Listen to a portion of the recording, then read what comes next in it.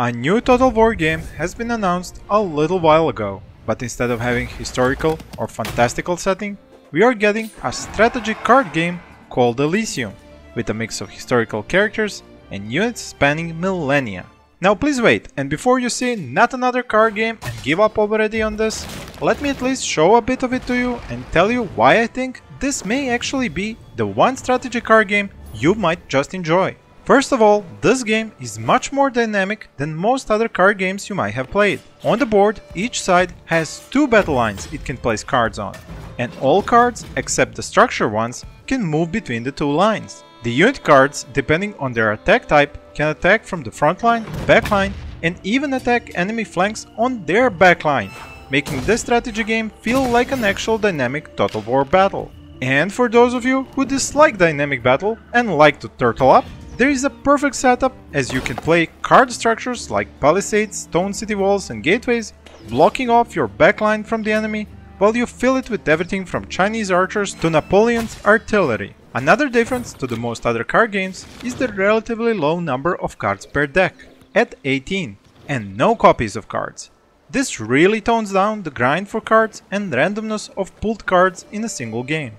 Additionally, out of those 18 cards, you only pick 9 for your starting pool of cards, and get to repick every 7 turns as they represent one full day of battle. As you get to repick the cards for your hand at each dawn, this lets you change your strategy during one battle, preventing you from losing the battle just because you ran into an opponent who had the perfect counter to your build.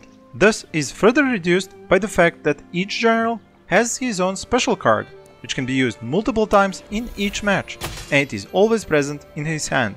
Each one of these is specialized, so it matches the general style of play and his unit cards, often having a lower price to play if specific conditions are met. There is also an interesting card mechanic connected to the dawn of a new day, as well as several unit card abilities and mechanics not seen in any other strategy card game so far, like the mentioned flanking, raiding, directional splash damage and more. I will explain all of these in more depth in my next video tutorial where I will show you how to play and win battles in Total War Elysium. My name is Peter and if you're new to my videos, I would like to welcome you to my channel where I present a variety of strategy games in form of previews, guides and a lot more different content. So if you have been enjoying this video, please do not forget to hit that like button below and even subscribe to see more videos such as this one. Now, besides the new board setup and game mechanics, Total War Elysium will offer its players the roles of many historical generals from all sorts of different ages across the world, from Sun Ren and Cao Cao to Marie Antoinette and Napoleon. At launch, there will be about 10 generals including Vikings.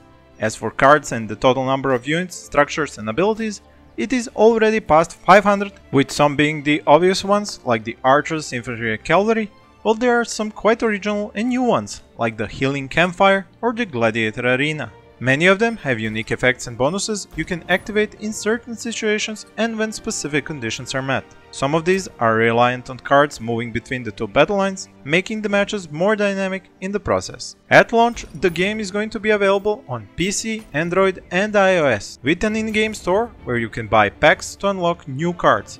But do not fear, all progress can be achieved just by playing the game, battling against the AI or the other players in PvP, and earning those card packs, amethyst and gold through daily quests.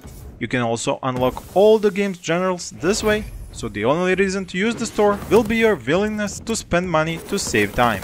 A note here from the developers is that all boxes brought from the store will tell you the exact rarity of the cards you will be receiving. As I mentioned, PvP is already in the game, and there will be more game modes introduced during development and post-release. The developers are promising battle modes both familiar and totally new to this genre. I for one would love to see a survival mode, where you are pitted against increasing numbers of French revolutionary mobs and count the days before you are eventually overrun. Total War Elysium is currently in closed beta, from which is the gameplay you're currently watching. You can sign up through the link I have placed in the description of this video for a chance to be one of the beta testers and you can also find the minimal requirements there as well. The game is by no means demanding and so will work on older hardware, both desktop and handhelds. That isn't to say it doesn't look and sound great. The battlefields are beautifully drawn, unit cards are extremely well detailed, while the sound effects and music have that Total War feel to them. This means that I can just almost forgive Sega for announcing a card game instead of a new Warhammer or historical Total War game because of this atmospheric representation of battlefields and units. I must tell you, as somebody who has played half a dozen other card games in the past, that this is the one that I really enjoyed because I never had a battle in which I felt I had absolutely no chance of winning. The low card count, less randomness, the more dynamic board and interesting abilities make this a great and unique game among all other strategy card games. I cannot wait to see who will be all the historical generals which have yet to be introduced in this game after release and all of their unique units, structures and abilities. I'm going to use this opportunity to say thank you to developers and the Creative Assembly for this preview opportunity, but as you all know, this would never be possible without your support in the form of being my subscribers and watching my videos. If you are interested in more Total War content, I will leave these cards up here for you and feel free to leave me your suggestions for new videos in the comments below. I thank you for watching and I wish you all happy gaming.